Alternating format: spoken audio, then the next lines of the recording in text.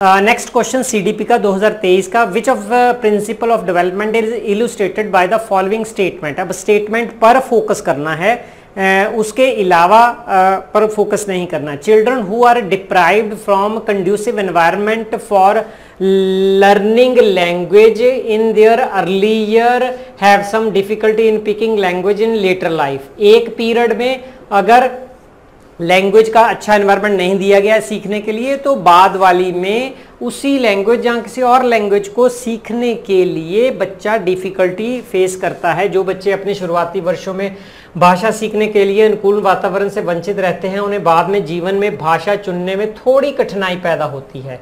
क्योंकि इसका मतलब क्या हुआ कि कुछ वर्षों में लैंग्वेज को अच्छी तरह से सीखा जा सकता है। वैसे अगर ये भी क्वेश्चन पूछा जाता है तो वो अर्ली चाइल्डहुड की डेफिनेशन चाइल्डहुड की आती है। लेट चाइल्डहुड भी, की, भी, बीच में शामिल है। वेरी सेंसिटिव पीरियड तो ये ऑप्शन क्या है? डेवलपमेंट इज़ ए डिसऑर्डरली नहीं डिसऑर्डरली इस स्टेटमेंट में ऐसा कुछ नहीं है। क्योंकि एक पीरियड में नहीं सिखाया गया तो बाद में सीखना डिफ़िकल्ट है। तो ये प्रडिक्शन बता रहा है। प्रडिक्शन अनप्रडिक्शन नहीं है ये। प्रडिक्शन क्या है कि अगर 10 बच्चे हैं, उनको जो है 9 10 11 साल के बच्चे हैं, उनको इंग्लिश अच्छे से नहीं सिखाई गई स्कूल में, जहाँ फैमिली में अच्छे जो टीचर नहीं मिले, है ना? तो बाद में उनको, बाद वाली लाइफ में इंग्लिश सीखने में परेशानी ज़्यादा होगी एज़ कंपेयर टू दोज जिन, जिन्होंने को आठ, नौ, दस सालों में अच्छे टीचर और अच्छी फैमिली अच्छे इंग्लिश वाले जो वातावरण वाले लोग मिले, है ना? There is a sensitive period ये साफ़ दिखाई देता है अर्ली ईयर सेंसिटिव पीरियड यही बात है अर्ली ईयर सेंसिटिव पीरियड वो कौन सा है? चाइल्डहुड पीरियड है। लैंग्वेज डेवलपमेंट इसको टिक लगा के चलते हैं। Language and cognition are complexly inter related yes language and cognition related है, ये ठीक है। लेकिन यहाँ पर ऐसी कोई बात कॉग्निशन की तो की नहीं है। सिर्फ़ एक एज की बात की है कि इस एज में अगर अर्ली एज में नहीं सिखाओगे तो लेटर एज में डिफिकल्टी होगी। तो इससे रिलेटेड नहीं है। दैट इज़ वाई ये क्रॉस हो जाता है। Development is development of language is totally totally work को मैंने अंडरलाइन किया और टैग वर्ड की वीडियो में बताया भी है कि जब एक्सेसिव टर्म आती है, उस पर शक करना है कि ये गलत हो सकता है और इसके गलत के चांस बढ़ गए। जब इन्होंने सिर्फ़ जेनेटिक्स लिखा है जीन्स हेरिडिटी पेरेंट्स कंसेप्शन के वक्त जो पेरेंट्स से ट्रेट मिलते हैं, उनमें भाषा आ जाती है ना? ये बात डिफरेंट है कि चोमस्की ने लैंग्वेज एक्विजिशन डिवाइस को जीन से हेरिडिटी से जोड़ा है। पर ऐसी कोई बात यहाँ पर नहीं है। That is why best answer is sensitive period एक बता दूँ एक स्टडी भी हुई है कि कुछ लोग जो कनाडा, अमेरिका के लिए शिफ्ट हो गए, उनमें से मान लीजिए, ये कनाडा, अमेरिका है, ये लोग जो हैं, बहुत छोटे हैं, और ये चाइल्डहुड के हैं, ये लेटर चाइल्डहुड के हैं, ये अडोल्टसेंट के हैं, और ये बुज़ुर्ग हैं, और ये लास्ट वाले ज़्यादा बुज़ुर्ग हैं, ये अडल्ट हैं, ये बुज़ुर्ग हैं। अब ये जो लोग थे, ये इस एज तक अडोलसेंट अर्ली अडोलसेंट तक के और चाइल्डहुड की। इन्होंने जाके कनेडा, अमेरिका जो थी इंग्लिश जल्दी सीख ली और इफेक्टिवली सीख ली। देखिए, मैं स्पीड की बात कर रहा हूँ स्पीड जल्दी सीख ली और क्वालिटी की बात हो रही है। क्वालिटी जल्दी सीख ली एज कंपेयर टू इनके, क्योंकि इन्होंने, ये इंडिया में रहे और इनको इंग्लिश अच्छी का एनवायरनमेंट नहीं मिला। इनको जाते ही उस पीरियड में एनवायरनमेंट मिल गया। दैट इज़ वाई वो सेंसिटिव पीरियड में इन्होंने इंग्लिश का एक्सपीरियंस किया और स्पीड से और क्वालिटी लर्न कर ली। दैट इज़ वाई उसके बाद अडल्ट हो जाते हो तो आइल्स करना, ये वगैरह करना डिफ़िकल्ट हो जाता है बच्चों को अर्ली ईयर में। That is why English medium school को हम ज़्यादा प्रेफर करें, लेकिन बेसिक कारण ये रिसर्च शायद ना पता हो, है ना? नेक्स्ट है read the following statement and choose the correct option teacher should ask student to identify their own examples and non examples of concept for strengthening the concept एक स्टूडेंट ने मेरे मेरे को कहा कि, सर थ्योरीज तो ज़्यादा आई नहीं। मैंने कहा थ्योरीज आई हैं। हमेशा थ्योरी में से ही इनका हर ऑप्शन का बेस फंडामेंटल रिसर्च और थ्योरी होती है। अब इस जब भी इसको हम पढ़ते हैं बार बार पढ़ाते हैं एग्ज़ाम्पल नॉन एग्ज़ाम्पल है ना? तो ये सी ए एम में से उठाया गया क्वेश्चन है कंसेप्ट अटेनमेंट मॉडल अच्छा ये किसकी थ्योरी पर? ब्रूनर की थ्योरी पर बेस्ड है, जिसे discovery learning discovery discovery learning कहा जाता है। ठीक है? तो ये कंसेप्ट अटेनमेंट मॉडल क्या कहता है कि बच्चे के सामने examples and non examples present करो। इसमें सिर्फ़ ये कहा है कि teacher should ask student to identify है ना? अब फॉर एग्ज़ाम्पल मैं नाउन टीच करना चाहता हूँ तो मैं क्लास में क्या लेके जाऊँ? According to Bruner according to concept attainment model मैं जो नाउन टीच करना चाहता हूँ, ये लिखा हुआ नहीं है मेरे माइंड में, ये मेरी प्लानिंग है। तो मैं एक एग्ज़ाम्पल बच्चे को देता हूँ डॉग और दूसरी एग्ज़ाम्पल देता हूँ कि बेटा, दूसरी एग्ज़ाम्पल है जो मैं टीच करना चाहता हूँ, वो उससे रिलेटेड नहीं है, उसको नॉन एग्ज़ाम्पल में रख रहे हैं, यहाँ पर रनिंग अब डॉग है रनिंग है, वो बच्चा इनमें डिफरेंस देखेगा कि डिफरेंस क्या है। इसको एनालिसिस की प्रोसेस बोलते हैं एनालाइज कर रहे हैं। फिर सेकंड एग्जांपल टीचर वो कुछ डॉग के करेक्टरिस्टिक्स लिखेगा एट्रीब्यूट लिखेगा जो शुरू में बिल्कुल गलत होंगे। अब टीचर लिख दिया है ना?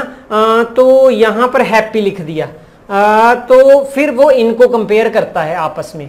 आ, जब तीन चार एग्ज़ाम्पल पेश कर देते हैं एग्ज़ाम्पल नाउन की माउंटेन भी दे दिया इधर स्विमिंग स्टेप बाय स्टेप देनी है फिर हैप्पीनेस आ गया फास्ट आ गया। अब क्या है कि बच्चा जो एग्ज़ाम्पल है, उनको भी आपस में कंपेयर करता है, दूसरी से कंपेयर करता है, तीसरी से कंपेयर करता है, और उसको ये पता अब चल जाता है कि यार इसमें आपस में सिमिलैरिटी है। सिमिलैरिटी इस सिमिलैरिटी के बेस पर जो कैरेक्टरिस्टिक्स वो फाइंड करता है, वो नाउन की परिभाषा होती है डेफिनेशन होती है। और ये नॉन एग्ज़ाम्पल हेल्प करती हैं कि इससे, ध्यान से देखना ये इनसे रिलेटेड सिमिलर है, लेकिन वो नाउन की एग्ज़ाम्पल नहीं है। कंफ्यूज करेंगी तो बच्चा इनसे भी कंपेयर करता है और लर्न करता है कि सिमिलर रिलेटेड वर्ड से हमारे, मेरे कंसेप्ट के कौन कौन से डिफरेंस है है ना? तो ये नॉन एग्ज़ाम्पल उसका एक पार्ट है इंपॉर्टेंट पार्ट है। यहाँ पर बेस्ट एग्ज़ाम्पल हमारे पास है। फॉर एग्ज़ाम्पल बच्चे को हैप्पीनेस की एग्ज़ाम्पल दी गई हैप्पीनेस और यहाँ हैप्पी लिखा है। तो उस, ये क्लोजली रिलेटेड है। तो उसे ये दिखाई दिया, दे रहा है कि happiness is example of concept which the teacher want to teach me है ना? तो ये सही है और ये गलत है। तो वो इसको भी कंपेयर करता है। ऐसे वो डीप लर्निंग और खुद मीनिंग बनाता है। वापस चलते हैं, जाकर देखते हैं कि क्वेश्चन में क्या पूछा गया है। क्वेश्चन में है कि टीचर शुड आस्क एक यहाँ पर पढ़ लें, शिक्षकों को संकल्पना को मज़बूत करने के लिए विद्यार्थियों को अपने स्वयं से संकल्पना के उदाहरणों और गैर उदाहरणों की पहचान करने के लिए कहना चाहिए। यस आइडेंटिफाई करनी है। यहाँ पर वो पेश कर रहा है तो मान लीजिए लिस्ट दे दी। लिस्ट लिस्ट में से उनका कहना नाउन कौन से हैं और नाउन कौन से नहीं है वर्ड ऐसे, है ना? Thinking of example lead to strengthening the concept yes कि एक जो एग्ज़ाम्पल थी नाउन की थी, चार थी, उनमें सिमिलैरिटी देखी तो वो स्ट्रेंथन होगा कंसेप्ट कि वो सारे नाम हैं, वो सारे ये हैं, वो हैं, वो करेक्टरिस्टिक्स लिखते हैं। While non example tend to confuse the student अब वो कंफ्यूज नहीं है वो नॉलेज जनरेशन है एक्चुअली कंसेप्ट अटेनमेंट मॉडल में ब्रूनर में। दैट इज़ वाई यहाँ से ये बात मुझे गलत आ, साबित दिखाई दे रही है कन्फ्यूज़ नहीं कर रहे वो और क्लैरिटी के लिए कन्फ्यूज़न के ज़रिए बच्चे को आगे लेके जा रहे हैं। और यही उसका ब्रूनर का कंसेप्ट अटेनमेंट मॉडल का पर्पज था। तो आ, ये हो गया और ये हो गया गलत। A is right A is true but R is false मैं तो फोर्थ को चूज़ कर रहा हूँ। अगर इसी को दूसरे ढंग से ऐसे सोचना है कि ये वाली जो स्टेटमेंट है uh, बिल्कुल करेक्ट है thinking of example lead to strengthening the concept while non example tend to confuse लेकिन कन्फ्यूज़न एक स्टेट है ये मैं कहना चाहता हूँ ऑफ़ गेनिंग नॉलेज तो ये भी बेटर बन सकता है बोथ ए एंड आर नहीं, ये वाली both A and R are true मतलब ये भी ट्रू है, ये तो पक्की बात है, ये भी ऐसे ट्रू मानी जा सकती है कि नॉन एग्ज़ाम्पल कंफ्यूज करती है, लेकिन ये इसकी एक्सप्लेनेशन नहीं है नॉट एग्ज़ाम्पल ये वाली। कारण क्या है? कि यहाँ पर एग्ज़ाम्पल एंड नॉन एग्ज़ाम्पल पेश करने के लिए आइडेंटिफाई करने के लिए कहा जा रहा है। तो इसका मतलब है स्ट्रेंथनिंग कर रही है। तो इसका मतलब है कि नॉन एग्ज़ाम्पल यहाँ पर कह रहे हैं कि विरोध कर रहे हैं कंफ्यूज कर रहे हैं। तो इस बात का विरोध हो रहा है यहाँ पर। दैट इज़ वाई ये वीक है, ये थोड़ा स्ट्रॉन्ग नेक्स्ट है general principle of learning suggest that student learn better if teacher first introduce over introduce concept overall अब ओवरऑल को अंडरलाइन करूँगा। क्यों? क्योंकि ये डिफाइनिंग टर्म है, बता रहा है कि इसमें कहा क्या जा रहा है। And move on the intricacies of it ये मुझे समझ नहीं आया मैं हिंदी में क्या पहले अवधारणा को संपूर्ण रूप में परिचित कराया जाएगा, फिर उसकी बारीकियाँ पर आया जाएगा। तो ये क्या हो गई? पहले यहाँ पर जाके बताते हैं, यहाँ पर ये रहा। पहले overall concept for example noun जो था इंट्रोड्यूस कर दिया, है ना? N O U N noun क्या होता है इंट्रोड्यूस कर दिया। इट मींस इंट्रोड्यूस क्या किया? कि उसकी डेफिनेशन दे दी। डेफिनेशन दे दी किया जिसको जीक बोलते हैं जनरलाइजेशन या जनरल कंक्लूजन पहले दे दिया। बारीकियाँ का क्या मतलब है?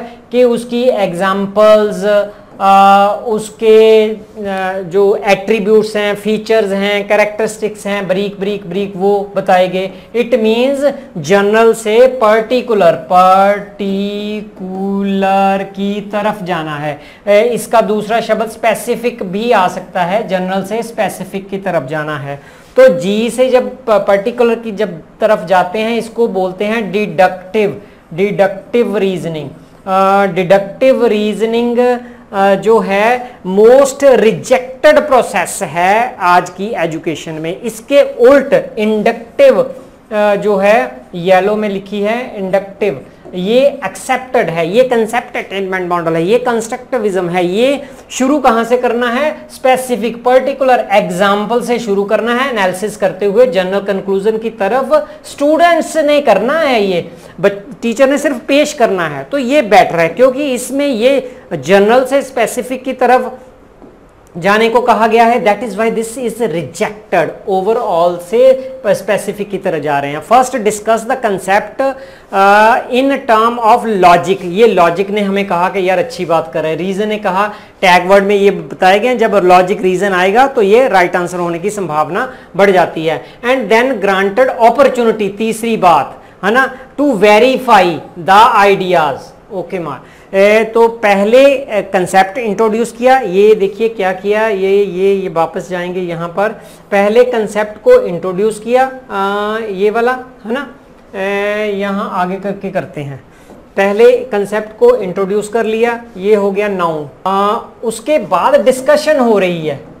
डिस्कशन है। अब डिस्कशन में क्या है? कि स्टूडेंट्स पार्टिसिपेट कर रहे हैं। स्टूडेंट्स पार्टिसिपेट कर रहे हैं एक दूसरे को आइडिया देने और लेने के लिए। फ्री है जो वैगोस्की ने कहा था कि discussion interchange subject inter subjectivity का जो प्रिंसिपल है वो अप्लाई हो रहा है। आ, उसके बाद उनको वेरीफाई करने के लिए कहा जा रहा है। वेरीफाई कि क्या ये जो कंक्लूजन हमने निकाले हैं कि ऐसे ऐसे ऐसे नाउन होता है यही वर्ड होता है ये वर्ब होती है और ये इसमें डिफरेंट होता है तो उसको वेरीफाई वो भी वो खुद करेंगे। इट मीन्स यहाँ पर वो जनरल से पर्टिकुलर की तरफ़ नहीं गए, यहाँ से वो इंट्रोड्यूस करने की बजाय ये डिस्कवरी डिस्कवरी के डिस्कशन और वेरिफिकेशन जो बता रही है कि ये डिस्कवरी लर्निंग की तरफ़ कंस्ट्रक्शन ऑफ़ नॉलेज की तरफ़ लेके जा रहे हैं। वो तो कैसे होता है कि पहले नाउन जो ओवरऑल कंसेप्ट था, उस पर डिस्कशन हुई। डिस्कशन से वो जनरल कंक्लूजन बनाते हैं। जनरल कंक्लूजन को वो वेरीफाई करते हैं। दिस इज़ बेटर ऑप्शन इसको टिक लगाएँगे। First discuss what is not known unknown क्या है to the student and then comes to what the student already knows उल्टा हो गया होना क्या चाहिए कि पहले बच्चे को आप जब बीएड करते हो आपको समझाया जाता है आपको लेसन प्लानिंग में बताया जाता है क्या पी के टेस्टिंग प्रीवियस नॉलेज टेस्टिंग जो पहले से बच्चा नोन है के एन नोन नोन क्या है? नोन क्या है? मान लीजिए, नाउन के बारे में बताना है। एक, दो, तीन, चार, ऐसी बातें बच्चे को पता है। बच्चे को वर्ड जो प्रेजेंट किए जा रहे हैं, उनके मीनिंग पता है है ना? तो उस नोन के ऊपर ऐसी डिस्कशन या बातचीत या इंटरेक्शन करेंगे कि अननोन जो परिभाषा उनको पता नहीं थी एग्जाम्पल्स पता नहीं थी एग्ज़ाम्पल और नॉन एग्ज़ाम्पल में डिफरेंस पता नहीं थे। मतलब नॉन से अननोन की तरफ़ जाना था तो हमारा ये प्रिंसिपल जो इसमें दिया गया है, वो क्या कह रहा है कि अननोन से नॉन की तरफ़ जाना है है ना? क्योंकि नोन जो है उसके उसको फाउंडेशन एज ए यूज़ किया जाता है और उस, उसको उसके साथ लिंक किया जाता है न्यू नॉलेज को। दैट इज़ वाई ये भी गलत हो गया। First introduce the concept and its symbolic form शुरू में सिंबॉलिक फॉर्म नहीं शुरू में कंक्रीट फॉर्म प्याजे की theory first second third fourth यहाँ पर कंक्रीट ऑपरेशनल है ना यहाँ पर एब्स्ट्रैक्ट फॉर्मल ऑपरेशनल है। तो कंक्रीट से इजी है डाउन है ना इजी है जल्दी समझ आता है। जिसको हम छू सकते हैं देख सकते हैं एग्जांपल्स को तो ये गलत हो गया। From and then move towards physical form नहीं। मैग्जिम्स uh, क्या है? कंक्रीट टू एब्स्ट्रैक्ट ये प्याजे की थ्योरी बता रही है। कंक्रीट टू एब्स्ट्रैक्ट यहाँ एब्स्ट्रैक्ट मीन फॉर्मल ओके तो यहाँ क्या है? यहाँ एब्स्ट्रैक्ट टू कंक्रीट ये उल्टा है ये भला भी उल्टा है है ना? आ, तो ये डिडक्टिव है और ये हमारा बचा सॉरी ये नहीं उल्टा आ, ये वाला उल्टा है ये। आ, ये वाला उल्टा हो गया ना ओपोजिट हो गया आ, ये वाला भी उल्टा हो गया और ये डिडक्शन हो गया और ये राइट आंसर हमारे पास बच गया जिससे हम एक अंक हासिल कर लेंगे। नेक्स्ट है a teacher wants to help her students to develop metacognitive skills metacognitive skills क्या होती हैं? इसकी एक ही डेफिनेशन है, बहुत ज़्यादा रिपीट होती है metacognition thinking thinking about about about your own thinking फिर यहाँ थिंकिंग लिख लेना है, ये रहा थिंकिंग ऐसे कैसे हो सकता है? फॉर एग्ज़ाम्पल आप ये टेक्स्ट पढ़ने लगे हो, ये पैरा पढ़ना है, ये ये लिखा हुआ है ना? तो आपने पहले थिंक किया प्लान के रूप में। प्लान किया ना कि यार मैं जब ये पैरा पढ़ूँगा तो मैंने 20 मिनट में ये ख़त्म कर देना है। मैंने डिक्शनरी मोबाइल नज़दीक रख लिया है। मैंने अपनी सिस्टर को भी साथ में बिठा लेना है कि ये डिफ़िकल्टी है, उसको ये इंग्लिश आती है, वो मेरी हेल्प कर दी। ये मेरी स्ट्रेटजीज होगी ओके कि मैं इस स्ट्रेटजी को यूज़ करूँगा। तो अब ये पहले है थिंकिंग पहले वर्क से पहले है ना? आ, अब मैं आ, पैरा पढ़ने लगा हूँ अब मैं इन स्ट्रेटजी को यूज़ कर रहा हूँ। फिर मैं थिंक कर रहा हूँ कि यार जो मैंने यहाँ पर सोचा था कि 20 मिनट में कर लूँगा तो 10 मिनट हो गया क्या मैंने आधा कर लिया है? क्या मैं मैं जो स्ट्रेटजी सोची थी, वो काम आ रही है कि एक्स्ट्रा और स्ट्रेटजी चाहिए? तो आप सोचते हो प्रोग्रेस के बारे में सोचते हो, और ये सोचते हो स्ट्रेटजी काम कर रही है, अगर नहीं काम करी तो उस स्ट्रेटजी को चेंज करते हो स्ट्रेटजी ऐड करते हो। ये ड्यूरिंग वर्क आप थिंक कर रहे हो। मेटाकोग्निशन हो गया। तो और ये एंड हो गया, खत्म हो गया। फिर आप इवेल्युएट करते हो, यहाँ भी थिंकिंग है। क्या मैंने सेटि, मैं सेटिस्फाई हूँ? मैंने एरर कौन सी की? मैंने बेस्ट स्ट्रेटजी मेरी कौन सी रही? क्या नेक्स्ट टाइम जो इस तरह का पैरा होगा मुझे इसी स्ट्रेटजी को फॉलो करना चाहिए या नई स्ट्रेटजी कोई ढूंढनी चाहिए? तो थिंकिंग यहाँ भी है यहाँ भी है यहाँ भी है। This is not about thinking about thinking और ये मेटाकोग्निशन है। इससे बिल्कुल रिलेटेड शब्द है सेल्फ रेगुलेटेड लर्निंग और रिफ्लेक्शन दो बातें इनसे बिल्कुल रिलेटेड है, लेकिन इनमें डिफरेंस है। Which of the following strategy would be most effective assigning the text of student to memorize memorize आया टैग वर्ड में बताया था, ये गलत ही होता है। And encourage them to repeat ये भी गलत होता है। इन्फॉर्मेशन और टेक्स्ट बुक ये भी गलत होता है। टेक्स्ट बुक हमेशा नहीं गलत होता। टेक्स्ट बुक से आप रिफ्लेक्शन भी कर सकते हो। अभी मैंने टेक्स्ट बुक की एग्जांपल दी, वो मेटाकोग्निशन भी हो सकती है। दैट इज़ ये बाकी मेमोरी के बेस पर इसको रिजेक्ट किया जा रहा है। Providing student with detailed and prescriptive instruction for all learning तो ये तो विद्यार्थियों को सभी सीखने के कार्यों के लिए विस्तृत और निर्देशात्मक सीख निर्देश प्रदान करना। ये हो गए कि ये टीचर है ये जो बोलेगा आप स्टूडेंट वही करोगे। It means teacher centred approach. It means जो है ट्रांसमिशन है ना? आ, तो ये भी गलत हो गया ये भी गलत हो गया ये भी गलत हो गया। Encourage good word. Student to reflect आ गया। रिफ्लेक्ट का मतलब क्या होता है कि आपने ये एक्सपीरियंस किया, कोई भी साइकिल चलाने का है बुक पढ़ने का है एक्सपीरियंस किया और एक्सपीरियंस करने के बाद उस पर डीप थिंक ओवर किया कि यार मुझे कैसा लगा अच्छा लगा, बुरा लगा। मैंने क्या गलतियाँ की, मैंने क्या अच्छा किया, मेरी कौन सी स्ट्रेटेजी बेस्ट रही? तो जो जैसे वहाँ थिंकिंग ओवर थिंकिंग है, यहाँ पर एक्सपीरियंस के ऊपर थिंकिंग है। इतनी सी बात है है ना? तो ये रिफ्लेक्शन है। यहाँ डीप थिंकिंग होगी बड़े क्वेश्चन होंगे टीचर रख सकता है आपने सोचना है खुद। आ, तो ये बेस्ट नज़दीक है यहाँ टिक मैंने पहले से लगा दिया।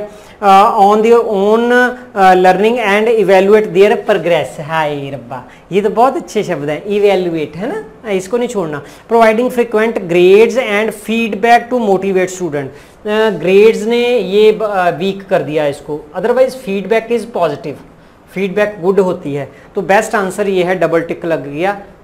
आगे चलते हैं। नेक्स्ट क्वेश्चन है पंद्रवा क्वेश्चन ये रहा in the context of inclusion curriculum learning most difficult question इसको इस टर्म का बोला जा सकता है।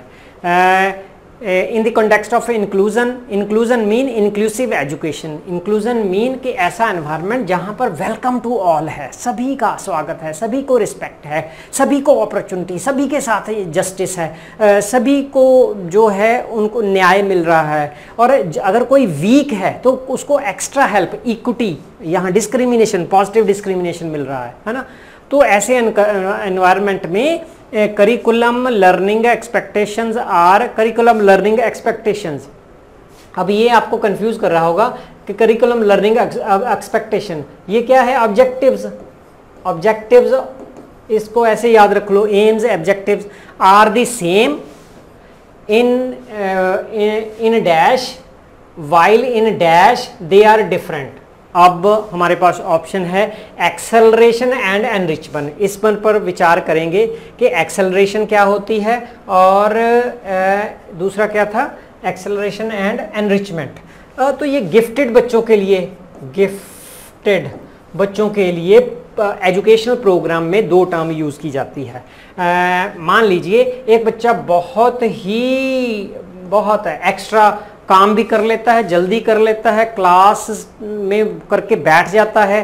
तो ऐसे बच्चे जो हाई अचीव करता है क्लास में नंबर वन आता है तो ये फिफ्थ क्लास में है। फिफ्थ क्लास में इसको क्या किया? उन्होंने, जो स्कूल वालों ने किया, यार इतना है कि ये क्लास में एक तरह से पिछड़ा हुआ लग रहा है सिर्फ़ डिफरेंट लग रहा है, पिछड़ा नहीं है। तो बाकी बच्चों से मैच नहीं कर रहा। तो उन्होंने क्या किया? फिफ्थ इसकी सिक्स क्लास स्किप करा के सेवन्थ तक ले गए। इसको बोलते हैं एक्सेलरेशन उसको उसकी स्पीड बढ़ा दी। एक क्लास ही मिक्स मिस कर दी। तो एक्सेलरेशन की और भी एग्ज़ाम्पल है। ये ईजी और बेस्ट एग्ज़ाम्पल थी ये दी। तो यहाँ एक बात है गिफ्टेड जा रहे हैं। दूसरी है स्किप करवा रहे हैं। तो यहाँ पर तो ऐसी कोई बात ही नहीं है इंक्लूजन की। कोई इंक्लूजन की बात ही नहीं हो रही। दूसरा है एनरिचमेंट अच्छा एनरिचमेंट में क्या है? कि मान लीजिए यही बच्चा है जहाँ दो बच्चे, तीन बच्चे और हैं, उनको जो काम बाकी बच्चों को दिया गया, उसके एक्स्ट्रा उसी टॉपिक से, एक टॉपिक मान लीजिए पढ़ाया गया टॉपिक के बाद उसी टॉपिक पर प्लस वर्क दिया गया। अच्छा उनको होमवर्क भी एक्स्ट्रा दिया जा रहा है। अच्छा उनको असाइनमेंट बाकी बच्चों को असाइनमेंट मिली नहीं है, उनको एक प्रोजेक्ट एक्स्ट्रा दे दिया। तो this is these are examples of enrichment के डिफिकल्टी लेवल उनका। उनको जो कंटेंट टीच करना है, उसका डिफिकल्टी लेवल बढ़ाया जा रहा है। तो एनरिचमेंट क्या है? ऐसे वर्टिकल दिखाई ज़्यादा दे रही है और ये जो है स्पीड जो है हॉरिजेंटल उसकी स्पीड बढ़ाई जा रही है, ये डिफरेंस पाए जा सकते हैं। तो यहाँ तो सीधी मिसमैचिंग हो गई कि ऐसी कोई बात इंक्लूजन में आ ही नहीं रही। इंक्लूजन जब भी वर्ड आता है तो मोस्टली नेगेटिवली डिविएटेड बच्चे, जैसे ईशान था, उसको डिसलेक्सिया की प्रॉब्लम थी रीडिंग राइटिंग अर्थेमेटिक की प्रॉब्लम थी, किसी को बच्चे को दिखाई नहीं देता, किसी का आईक्यू कम है, कोई फिजिकली हैंडीकैप है तो वो नेगेटिवली बच्चे, उनको इंक्लूजन के लिए प्रॉब्लम होगी। ये तो गिफ्टेड की सारी बात है। इट मीन्स कि एक्सेलरेशन और एनरिचमेंट गिफ्टेड बच्चों की बात है। यहाँ पर उसके, वो इनरेलीवेंट है और इनको हम दोनों को डिलीट कर देंगे। ये रहा। इसके लिए आपको पता होना चाहिए एक्सेलरेशन और एनरिचमेंट ये क्वेश्चन इसलिए इंपॉर्टेंट है, ये आपके बाकी कंसेप्ट को क्लियर कर रहा है। अब ये है कि हाँ अकोमोडेशन मीन चेंज करना मॉडिफिकेशन मीन चेंज करना इंक्लूजन जो वीक बच्चे रह गए, उनके लिए कुछ चेंज करना। तो फ़र्क क्या है? अकोमोडेशन और अकोमोडेशन एंड मॉडिफिकेशन दोनों में क्या है? चेंज हो रहा है। लेकिन फ़र्क क्या है? इसमें ये सोचिए, आप बेटर रहोगे कि यहाँ पर बच्चे की सिवियर प्रॉब्लम ज़्यादा नहीं है। मतलब वो नॉर्मल बच्चों से compete कर सकता है अगर उसको एक्स्ट्रा कुछ प्रोवाइड कर दिया जाए, है ना? कुछ एक्स्ट्रा दे दिया। यहाँ पर मॉडिफिकेशन कहाँ है? बच्चे की प्रॉब्लम इतनी ज़्यादा सवियर है कि उसको कंटेंट में चेंज कंटेंट को रिड्यूस करना, जैसे कि reducing the length of written assignment for a student for a limited attention span attention span की प्रॉब्लम है, ज़्यादा ध्यान नहीं दे सकता फोकस नहीं है, जहाँ आई कम है, कोई भी ऐसा बच्चा, है ना? आपने क्या किया? यहाँ पर मैं बता रहा हूँ, यहाँ पर है कि ऑडियो बुक दे दी, उसको रीड रीडिंग की प्रॉब्लम थी। ये यहाँ जा रहे हैं, यहाँ पर। एक बच्चा है ये रहा और दूसरा रहा वाइट वाला बच्चा ये रहा। अब इस बच्चे को आ, जो है मान लो ईशान है है ना? तो इसको रीडिंग की प्रॉब्लम है रीडिंग की प्रॉब्लम है। इसको रीडिंग डिवाइस दे दिया गया। रीडिंग डिवाइस जो है इलेक्ट्रॉनिक है कंप्यूटर के साथ अटैच होके है ना? वो दे दिया गया। ऑडियो बुक दे दी गई कि आप सुन लो रीड नहीं हो पता सुन लो। लेकिन ए, ए, तो एक्सपेक्टेशन सेम रह रही हैं इसमें। तो यहाँ पर क्या है कि ये बच्चा का अटेंशन स्पैन बहुत कट, कम है आई आईक्यू जब बहुत कम है। बाकियों को असाइनमेंट इतनी लंबी दी गई दस पेज की लेकिन इसको कहा गया कि बेटा आप इतनी कर लो। इट मीन्स कंटेंट रिड्यूस कर दिया गया। तो यहाँ पर कंटेंट मॉडिफिकेशन कर दिया गया। तो मान लीजिए ये एक लेसन करवाया तो इसे कहा बाकियों को कहा सारा करना है। इनको कहा कि आपने ये पाँच आइडियाज़ हैं सिर्फ़ वही करने हैं इसमें से। तो यहाँ एक्सपेक्टेशन डाउन हो गई। ये बात वो कह रहे हैं साफ़ साफ़ आ, और देखते हैं। अच्छा अकोमोडेशन में क्या होता है? अकोमोडेशन में adjustment made to support the student learning while maintaining the same learning goal and standards यहाँ पर एक्सपेक्टेशन नहीं है गोल्स आ गया स्टैंडर्ड्स आ गया, मैंने ऑब्जेक्टिव्स लिखा था, ये यहाँ से क्वेश्चन बना है है ना? समान गोल रखे जाएँगे। Change made to curriculum assessment to meet the needs of student with disability तो चेंज किए जा रहे हैं, लेकिन उनकी जो एक्सपेक्टेशन जो हैं, वो बाकी बच्चों के बराबर नहीं रखी जा रही। ऐसी और हैं learning goals learning goals are और एग्ज़ाम्पल है एकोमोडेशन की allowing the student to use calculator इनको यूज़ करना कहा गया। लेकिन आपने उतने मैथ के सम ही सॉल्व करने आपसे ऑब्जेक्टिव आपके गोल एक्सपेक्टेशन सेम है। यहाँ पर क्या है? Providing shorten version of assignment जो पीछे एग्ज़ाम्पल दे के आए हैं। Providing written instruction in addition to verbal है ना? दो तरह से मोड में दे दी। एक तो लिखती रूप में और एक वर्बल रूप में। यहाँ पर क्या है? Assign fewer math problem problem उसके कंटेंट को रिड्यूस किया जा रहा है। सिर्फ़ इतनी बात रखो कि यहाँ असाइनमेंट लंबी नहीं छोटी कर दी गई है। यहाँ पर असाइनमेंट छोटी नहीं की उसको असाइनमेंट को पूरा करने के लिए एक्स्ट्रा जो है हेल्प की जा रही है। तो ये डिफरेंस इसमें दिखाई दे रहे हैं। यहाँ पर राइट आंसर अब क्या होगा? आ, साफ़ हो गया है कि अकोमोडेशन में अकोमोडेशन में सेम रह रही हैं। ये रहा अकोमोडेशन सेम है। मॉडिफिकेशन में यहाँ पर मॉडिफिकेशन आ गया। ये सेकंड सेकंड वाला ठीक रहेगा। मॉडिफिकेशन में एक्सपेक्टेशन गोल डिफरेंट हो जाते हैं। इतने में से ये बना हुआ है क्वेश्चन ठीक है? थैंक यू बाकी नेक्स्ट में